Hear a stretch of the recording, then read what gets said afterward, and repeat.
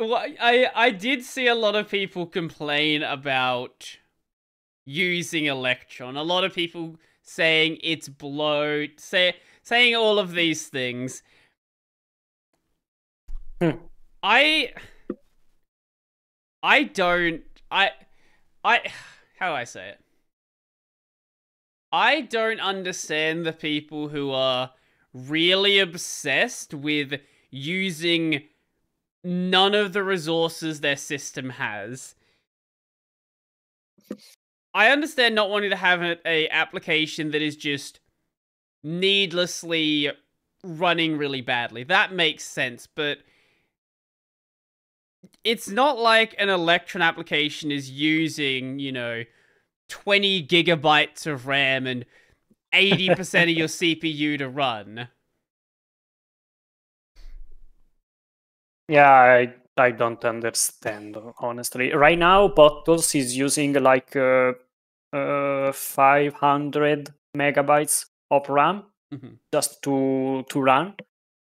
If you start to use Bottles and play some random games, uh, open the registry, etc., it will use around one gigabyte of RAM.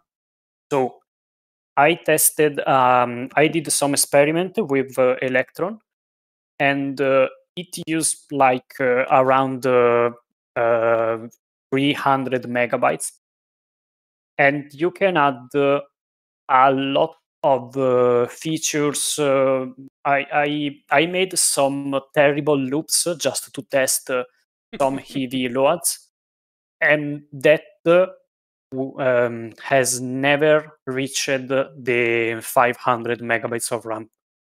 And the problem in the Electron website, in the documentation, they explain very well that uh, you must be very careful to use uh, Electron, Mhm. but uh, Node in general, because uh, if you use Electron and uh, JavaScript uh, and things like that, uh, everything is fine. It's just a matter of rendering and simple calculation, simple operation. But if you use some Node modules packages which use the um, some Node native codes, that could use like uh, one, two, or more gigabytes of RAM. Mhm. So it's just how you develop that program. I think that Heroic Game Launcher, uh, Flavio, the founder of the project, is very respectful of the system hardware. Mhm. And Heroic does not use a lot of resources. That's very a good uh, representation of how Electron should be used. Mhm. And I use uh, Vue.js, uh, Chromium, etc. since uh, years now, right now. So I hope to do something like Heroic. Heroic is a really cool project. I didn't know it was using Electron. That's that's cool. Yeah, that's Electron. Hmm. I, I asked, uh, no, I should ask, I never asked, but I should ask Flavio. I'm friend with Flavio. We talk uh, randomly. Mhm. And um, I should ask um, him to remove uh, the system decoration from Heroic Game Launcher because Electron has this thing that you can use custom window decoration Mhm. Like uh, VS Code uh, also in Linux, uh, Windows, Mac, Mhm. and that will be probably better since uh, GTK decoration in Electron application are terrible.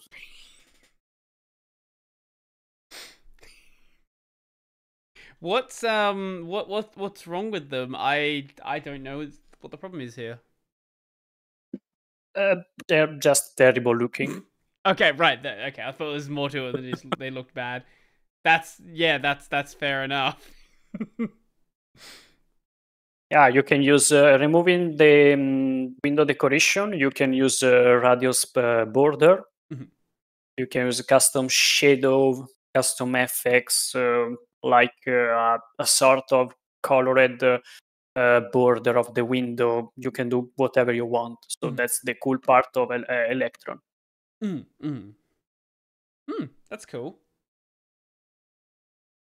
So, actually, I guess I guess one thing to worth talking about is also with this uh, new UI that you want to do, you sort of want one of the things mentioned here is about the Steam Deck. The Steam Deck obviously wasn't a thing back when bottles first started, but now that it's out, obviously a lot of people are using the uh, using bottles on the Steam Deck, and at least from the way it's written here, it's not super well optimized for a smaller screen like that. Is that correct to say? Yeah. Mm-hmm. That's correct. So it was designed very much around what, like a most monitors are like 24 to 27 inches. So it's it's designed around that sort of scale. Yeah. Mm-hmm developing our own interface uh, and our design language, because that's called our design language, we can create uh, uh, any sort of component. So every selector, input button, we, we develop everything, which some user we can see this as a, a stupid effort because GTK and uh, like material design and some other toolkit already exists, mm-hmm. but uh, in developing, uh, thinking or own uh, design language can help us to create what we want. like uh, if uh, in the future, uh, like the, this large coverage, the um, the when you use Bottles Next in Steam Deck, you use the large coverage mode, which is the one you are talking about. Yes. And as but more big buttons, some features are disabled. Um, the library has uh, big buttons with uh, big covers, and that's something we can do only if we develop that language, mm-hmm. that design language. So that's probably require more effort of using compared to using something that already exists, but and at the long time uh, can help a lot. Mm-hmm. And another thing I must say that the toolkit we are developing for bottles it's obviously uh, obviously open source so everyone can use that in their own application help uh, work uh, help improving that uh, developing new application so that's still open source mm-hmm. So, I guess when when you were saying before that you program not because you want to, it's because you have to do it for you design. I, I can't remember exactly how you phrased it, but this sort of shows that you have a lot more interest in doing the design aspect than just the uh, the the programming part. Ah, that's correct. I had enough fun mm-hmm. developing uh, the current version of Bottles. Mm-hmm.